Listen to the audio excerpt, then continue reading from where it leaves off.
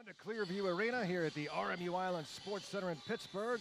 Garrow Von Dane and Bob Kennedy with the call today for Robert Morris.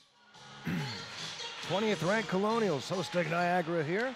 And the lift shot goes over the shoulder of Wilson and in, and Robert Morris strikes first. It's 1 0 Colonials in front, right off the draw. Yeah, we talked about the faceoffs in the pregame, and they win the draw there. Let's see if we can get it on the replay. I think it was Nick Jenny, the captain. And You see Abear taking the draw off the near boards. Yeah, just simple play. Got it back to the point, and Jenny just wristed it. And see if Wilson could see this puck.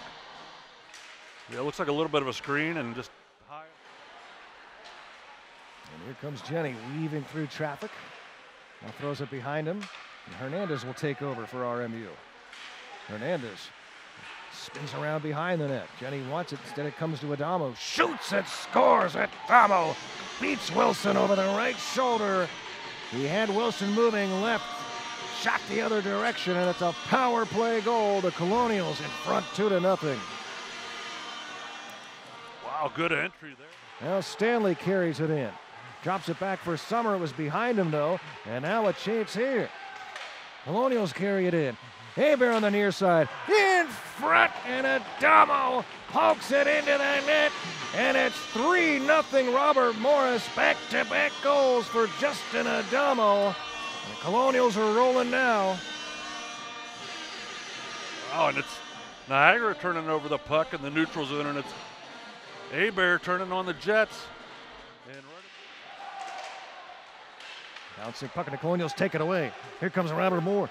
Chance here down the wing. It's Hartikainen, and he shoots and scores. Santeri Hartikainen makes it 4 nothing. Robert Morris, a short-handed goal. And the Colonials are fired up here in Pittsburgh. Well, Hartikainen showing that little bit of that Finnish style as he was going side to side. Niagara again, they've got scoring capability, and they put it one in here, and it's Billings.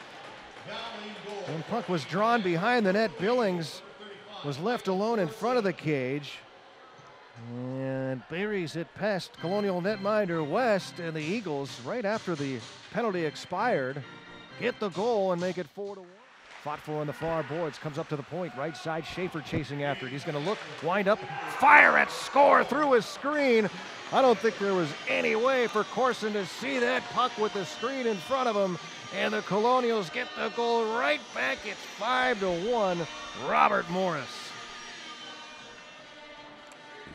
It's the defenseman Schaefer coming coming down from his right point position, taking that puck off the board.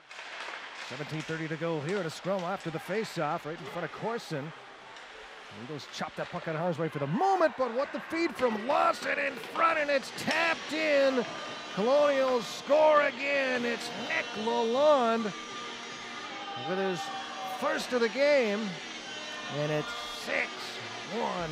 Robert Morris racing away from the Purple Eagles.